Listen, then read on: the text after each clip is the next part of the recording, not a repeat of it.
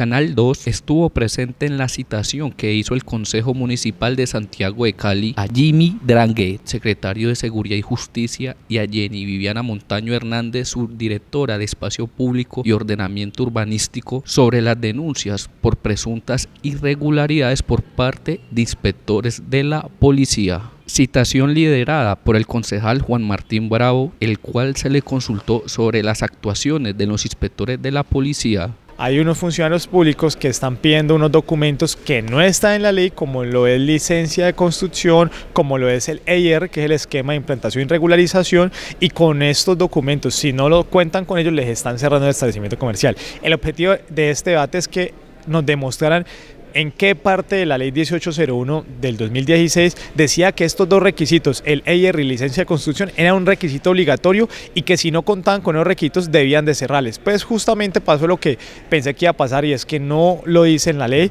la alcaldía está interpretando la ley, la alcaldía está yéndose un poco más, está, está limitándote, está limitándose, le está dando una lectura a la ley y quienes los únicos que pueden interpretar la ley son los jueces o en este caso los legisladores y es ahí donde se está cometiendo el pecado es que están pidiendo esos dos requisitos y estos dos requisitos si no cuentan les están cerrando. Esto no puede seguir permitiendo, hoy tenemos que blindar por el contrario a todos los dueños establecimientos comerciales que hoy generan empleo para que esta ciudad siga creciendo. Lamentablemente hoy tenemos establecimientos comerciales que cumplían con toda la ley, uso del suelo, que a pesar de que esos dos requisitos como la licencia de construcción y el EIR no es, son de carácter obligatorio según la ley, pues tenían estos requisitos, lo cumplían con estos requisitos y así todos fueron cerrados de forma arbitraria. Yo que invito a que todos los dueños de establecimientos comerciales que hayan sido cerrados demanden a la alcaldía si ven que el proceso fue mal efectuado y si ven que el proceso fue por lo que es licencia de construcción y EIR. Reitero, la ley no permite que se pida ningún requisito adicional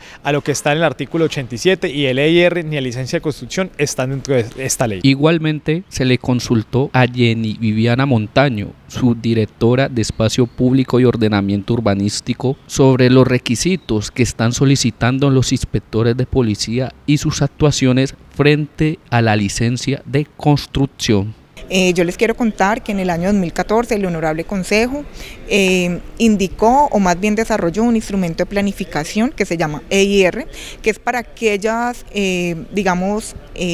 direcciones para que la ciudadanía lo pueda entender, donde no se pueda desarrollar una actividad comercial, pero, es, pero sí se puede desarrollar siempre y cuando uno cumpla con unos criterios. Por ejemplo, si yo vivo en un vecindario, voy a poner un ejemplo de un barrio primero de mayo, y ahí yo deseo realizar una actividad comercial, pues yo puedo mitigar los impactos de afectación a mi vecino, porque recuerden que lo que busca el plan de ordenamiento territorial es que todos convivamos en armonía, tanto eh, los empresarios que desarrollan sus actividades comerciales como nosotros. Eh, quizá el debate y la interpretación se da en el artículo 87 del Código eh, de mm, Policía, que indica en su numeral primero que se puede solicitar normas definidas del uso de suelo. O sea, no recuerdo muy bien cómo es que, cómo es que está desarrollado, pero dice, a ningún momento indica que solamente el concepto de uso de suelo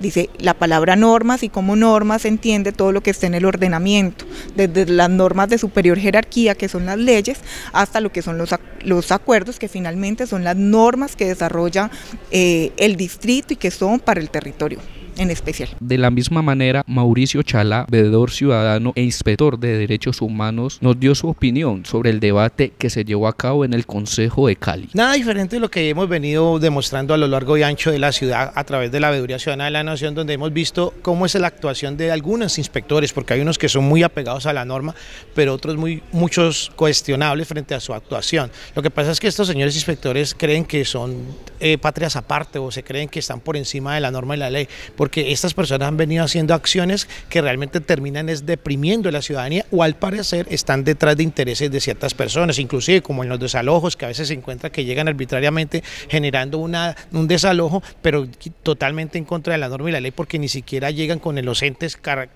públicos que se necesitan para hacer este tipo de actuación. O sea, que hay inspectores que son realmente muy cuestionables y deberíamos pedirles eh, seguimiento o, como una propuesta que se hizo. Vamos a empezar a revisar y eso es algo que vamos a empezar a hacer la veeduría. Yo tomé anotación a los inspectores, vamos a, solicitarles su declaración de renta para eh, ver si es que están realmente generando un enriquecimiento ilícito posiblemente en algunos. Por el momento, los comerciantes están a la espera de qué solución se les puede brindar para darle apertura a sus establecimientos comerciales. Esto es el canal 2, el canal de nuestra gente.